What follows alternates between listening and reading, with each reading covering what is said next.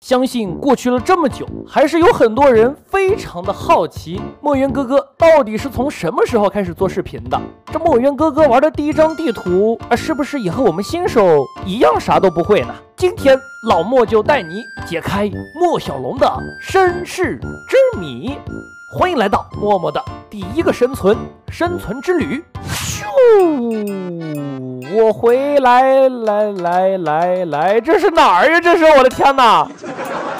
前面是太阳，后边是月亮，脚下都是虚空，这是什么地方？嗯，妈妈，你之前玩的就是这个图呀？啊，不是。哎，走了，走了，走了。哦，粉粉别走，等一下，给我一点点时间。Two thousand years later。咦，这是哪来着？哦，我找到了，小伙伴们。你们猜猜这里是哪里呀？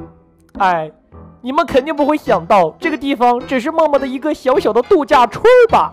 但是这个度假村我一次也没来度假过。哎，空落落的房间，连一个家具都没有。看我们外边这露天大泳池，当时我和我的贤弟叶子经常在这里游泳。不，一般都是我先游，他再游。我不愿意和他游在一起，他脚太臭了。好，我们现在就要回我们的主小镇看一下了。哎，要不就说你们后生的娃能赶上科技发展带来的红利呢？曾几何时，那个年代的迷你世界玩家，有谁能想到有传送舱这个东西会出现呢？要想去远一点的地方，必须得造铁路。你们知道这铁路一造就是四五个小时呀，翻越大海，翻越沙漠，翻越兄弟的坟包。哎呦我的妈！对，你们没有听错。就是坟包，你们知道当时一路上会遇到多少野怪吗？要历经多少的艰难才能修过来吗？所以说现在他没有传送舱，我们也得跑回去，毕竟我们没有小汽车呀。但是我们好像还有传说卷轴啊！我回来啦！哇，欢迎来到默默的啊乡野小别墅啊！当然这个别墅看起来好像。有点点简陋啊，但是没关系，这是人家当时的第二个房子。接下来咱们就去看看默默的第一个小房子，哎，就是这一个啦。怎么样？它还有个好听的名字——真龙殿。这里边住着一条真龙，看见了没？还是二层小别墅呢。外边看的是一层，其实里边有三层，一层通地下，一层通房顶。啊，不对，我去矿洞干什么？对了，咱们的箱子里还有一些已经限量的宝贝，啊，让我给你们找找看，看看有没有什么旧版本的遗物，大家没见过的新鲜玩意儿啊。嗨，就是这个了，小伙伴们，猜猜这个是什么？嗯哼。这个就是传说中的魔力卷轴，可以赋予超能力哦。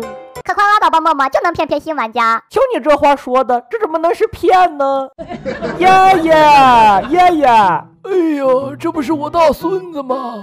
我啥时候成你孙子了？哎，你们可知当时我们用一碗米饭把他们俩从千里迢迢的外地请过来有多艰难吗？结果拉回来这俩人东西卖的死贵，奸商啊！好，各位旅客们往这里看，我们现在看的这栋房子呢，就是老莫盖的第一个古风建筑啊。因为盖的比较低，所以后边里边就没建了，就当是个凉亭吧。哎，这个飞檐翘角，我研究了好久呢。接下来大家请往这里看，哎，这个是默默的全自动农场。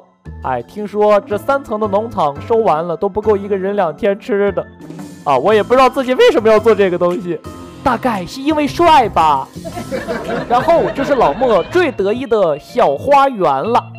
哎，其实当时是想盖一个宫殿，但是盖盖盖不知怎么，啊，就盖成一个小花园了。接下来这是老莫最得意的作品了，哎，超大电动化的刷怪塔，哎，可以自动刷怪、自动收集怪物，怎么样？是不是看上去非常的牛掰？哎，而且咱们这个下边用的还不是水流，用的是电动化。哎，下来的话就会自动被吸住，然后直接传送到底部。哎呦，我都走不了。如果小伙伴们喜欢的话，到时候咱们还可以再搞一个。接下来我们要去的最后一个地方就是贤弟的家了。啊，我那逝去的青春突然开始向我发起了攻击。这里就是我兄弟曾经居住的地方了，兄弟们，这个地方就是我们俩的龙椅了。啊，虽说有点简陋，但是坐在这樱花下也是非常的惬意呀。谁能想到，那么懒的一个人，竟然做这么大一个阁楼啊？为的是什么？为的就是跟我卷一下。啊，人呐，你不逼他一下，他永远不知道自己有多优秀。唉，剪不断，理还乱，是离愁，别是一般滋味在心头。